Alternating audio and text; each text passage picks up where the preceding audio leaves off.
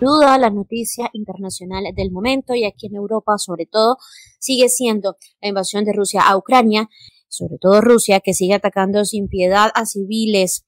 Doctor Fernando, ayer el presidente de Ucrania, Volodymyr Zelensky, denunció que las tropas rusas capturaron una columna humanitaria que iba de camino a la ciudad de Mariupol, que según informó él mismo, eh, está bloqueada totalmente. La población civil está sin comida, ni agua, ni medicinas. Esta columna humanitaria se desplazaba muy cerca de Mangul cuando empleados del Servicio Estatal de Emergencia de Ucrania y choferes de buses fueron hechos prisioneros.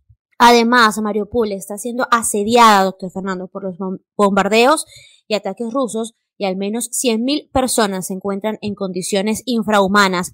Agregó que tenían más de una semana intentando organizar corredores humanitarios para los habitantes de esa ciudad portuaria del sureste del país, pero que todos esos intentos han sido impedidos por las tropas rusas.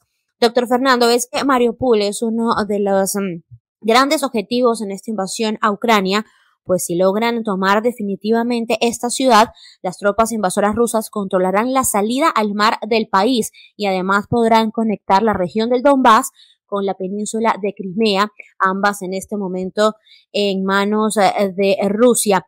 Sin embargo, a pesar de los ataques, las autoridades ucranianas han reportado que un total de 7.266 personas han sido rescatadas, doctor Fernando de Mariupol. Entre tanto, más de 3 millones de personas han salido desplazadas en total de Ucrania, especialmente mujeres y niños. Pues eh, recordemos que por la ley marcial, todos los hombres entre 18 y 65 años deben quedarse para poder combatir contra las tropas rusas. Es por esto que aquí en España, por ejemplo, la Cruz Roja, doctor Fernando, ha aumentado los controles y la vigilancia pues estas mujeres y niños se han convertido ya en el objetivo de las redes de tráfico de personas y se han activado protocolos de actuación junto con la Policía Nacional de España.